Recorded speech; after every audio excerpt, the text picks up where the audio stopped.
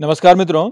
मित्रों भगवत गीता के पंद्रहवें अध्याय का अध्ययन हम समाप्त कर चुके हैं और जैसा कि हम हर अध्याय के पश्चात करते हैं कि प्रत्येक अध्याय के पश्चात हम आपको एक परीक्षा उस अध्याय को लेकर के प्रदान करते हैं और ये करने के पीछे हमारा जो उद्देश्य होता है वो यही होता है कि इसके द्वारा आप उस अध्याय की जो शिक्षाएँ हैं उसको एक बार पुनः दोहरा सके। तो इस प्रकार से आप की साथ ही जो शिक्षाएँ हैं वह लंबे समय तक रहेंगी।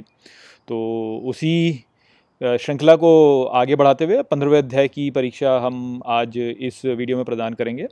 आप सभी से निवेदन है कि आप इस परीक्षा के उत्तर प्रदान करें। हमको 10 अगस्त तक इस ईमेल पर प्रदान करें जो कि इस समय पर आपको स्क्रीन पर दिखाई दे रहा होगा। और यदि आप इन उत्तरों को प्रदान करते हैं तो हम आपको एक लकी ड्रॉ में सम्मिलित करेंगे। और जो लकी ड्रॉ का विजेता होगा, उसको निखिल भगवत गीता की एक प्रतिलिपि प्रदान करेंगे। और इस कार्य को करने के लिए निखिल को बहुत बहुत धन्यवाद। तो ये जो हमारा प्रयास है, ये इसीलिए है कि आप इन शिक्षाओं को अपने साथ लंबे समय तक धारण करके रखें तो आपको प्रेरित करने के लिए निखिल ये एक मुहिम चला रहे हैं। तो निखिल को बहुत बहुत धन्यवाद ये करने के लिए। तो चलिए, अब मैं आपको पंद्रहवें अध्याय की जो परीक्षा है, वह प्रदान करता हूँ। इस परीक्षा में पाँच प्रश्न हैं। तो जो पहला प्रश्न है, वो ये है कि श्री कृष्ण पंद्रहवें अध्याय का आरंभ अश्वत्थ वृक्ष के विषय को लेकर के करते हैं तो आपको ये समझाना है कि ये जो अश्वत्थ वृक्ष है, ये हमारे जीवन को किस प्रकार से दर्शाता है? अश्वत्थ वृक्ष जो है, वह ही पीपल का वृक्ष है। तो जो पीपल का वृक्ष है, यह हमारे जीवन को कैसे दर्शाता है? तो मैं प्रश्न को पुनः दोहरा दूँ कि पंद्रहवें अध्याय का आरंभ श्री कृष्ण पीपल के एक वृक्ष के विषय में कहते हैं। आपको ये बताना है कि ये जो वृक्ष है, ये किस प्रकार से हमारे जीवन को दर्शाता है? दूसरा जो प्रश्न है इस अध्याय को लेकर, वो ये है कि श्री कृष्ण का जो लोक है, उसको आलोकित करने वाला कौन है?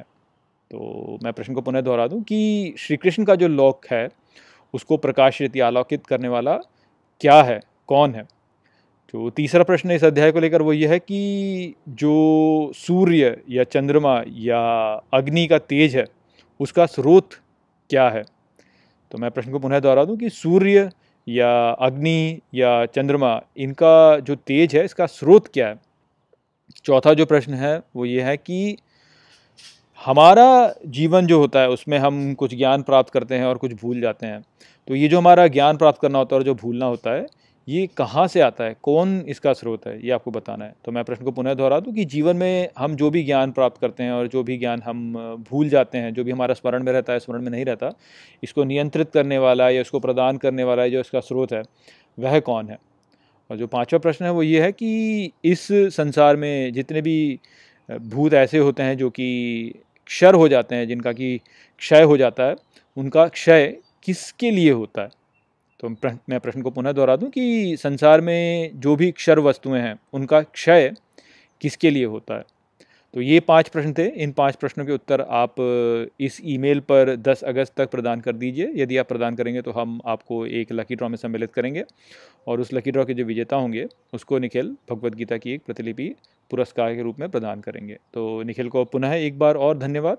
और इसके साथ हमारा पंद्रवा अध्याय का जो अध्ययन है वह समाप्त हो चुका है। अब मैं आपको सोलहवें अध्याय के श्लोकों के बारे में अगले वीडियो से जो व्याख्या है, वह प्रदान करने लगूँगा। चलिए इसी के साथ इस वीडियो को हम यहीं पर समाप्त करते हैं। नमस्ते।